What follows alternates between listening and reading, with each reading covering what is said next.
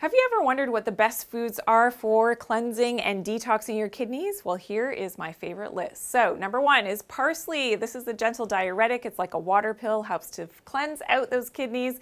I also love cranberries and blueberries. And we know that cranberries and blueberries help to decrease the adherence of that specific bacteria, E. coli, to our bladder walls, can be really helpful for cleansing out that entire urinary system, as well as asparagus. Now, the asparagus does have a cleansing effect on the kidneys. You may have smelled asparagus in the urine after eating it the next day, and it helps to detox the bladder and increases that urine production. It can also help to break up uric acid, which of course is related to gout.